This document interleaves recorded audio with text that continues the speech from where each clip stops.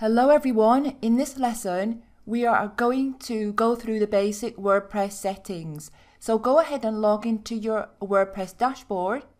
Now I already showed you the URL earlier when you installed WordPress, but just in case, this is what it looks like. It's a your domain forward slash wp hyphen admin. So that's the URL you go to to log in to your WordPress dashboard. All right, so go to the menu here over on the left hand side and select settings.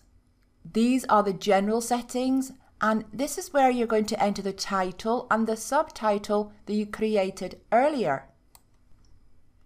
Now we set up HTTPS, so let's change the URL from HTTP to HTTPS and in here as well. And here's the email address. This is the one that you entered on the WordPress installation. And since then, you have created that email address in a previous lesson. We leave this unticked.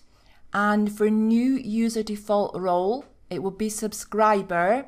Now, unless you're running some kind of membership site where you're going to have people sign up to a membership this is really not applicable anyway, but we just leave it as is.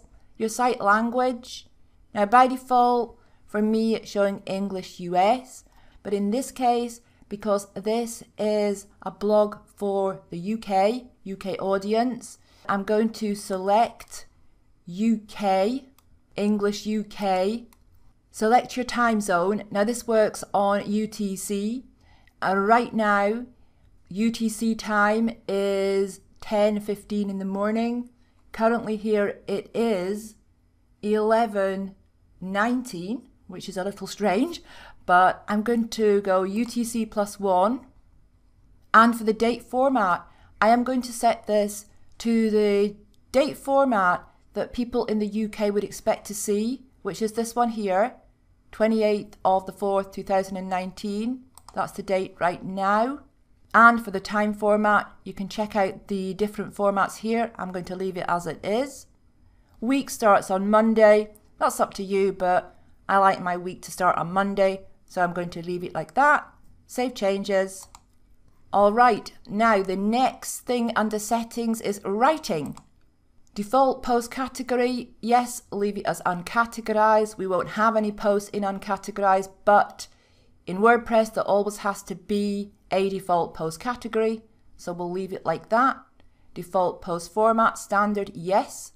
Post via email, leave everything as it is here, that's fine.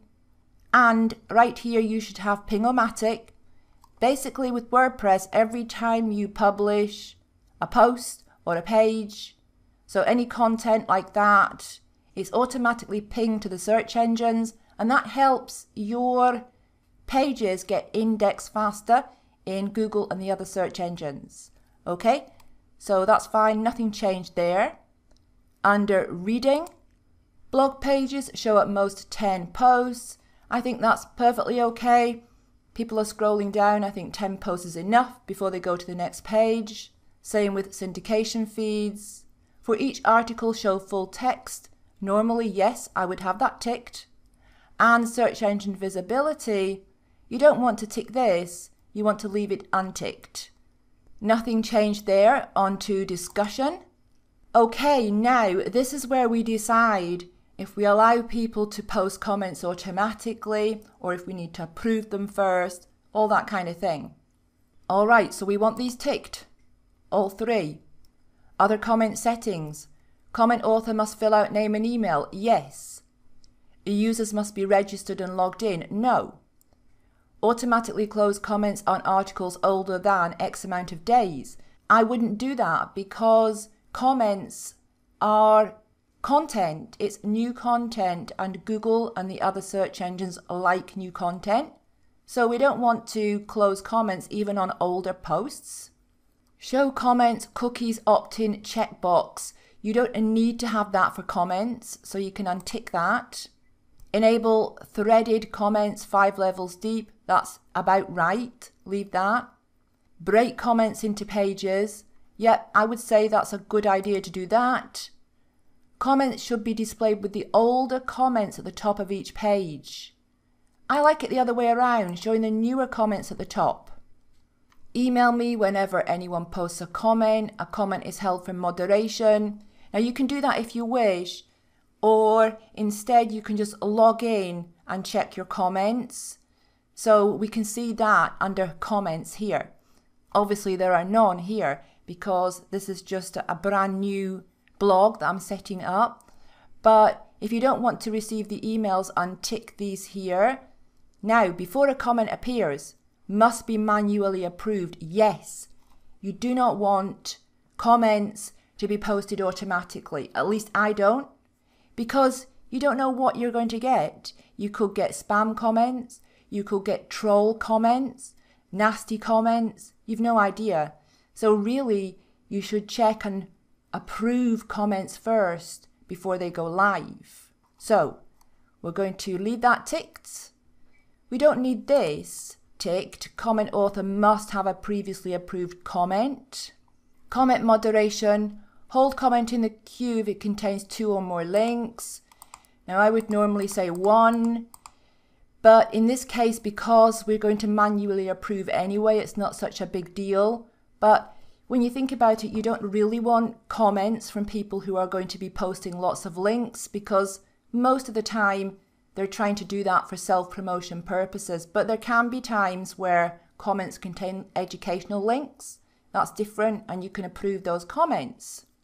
You can also add a list of words in here that would cause a comment to be held in the moderation queue, but because you are going to be manually approving them anyway, they're always going to be in the moderation queue. They're not going to be posted automatically and comment blacklist. Now this can be handy because if you have words in here, blacklisted words, and any comments contain those words, those comments will go straight to the bin, which means that you won't even need to look at them and manually approve them or manually bin them.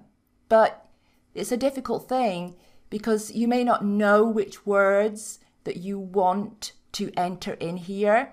Now you can put obscenities and that kind of thing in the blacklist if you want to, but that does not mean to say that spam comments or weird comments are going to go automatically to the bin because they may not have any of those words in them.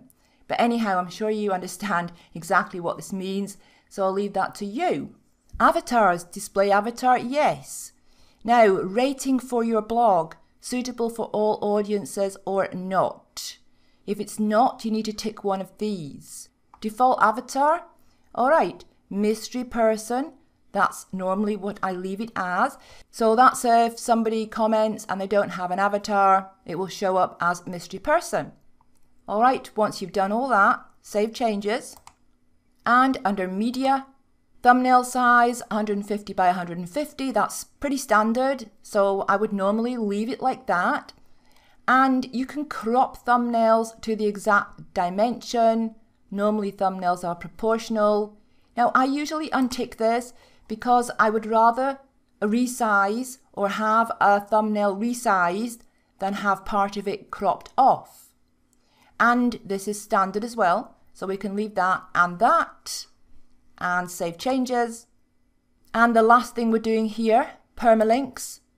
What we need to do here is change this because if not, your post URLs are going to show up like this with the date and then the name of the post. So we're going to go post name. That's a lot better. And go ahead and save changes again. All right, we're going to deal with privacy later. So that's it for this lesson and I'll see you in the next one.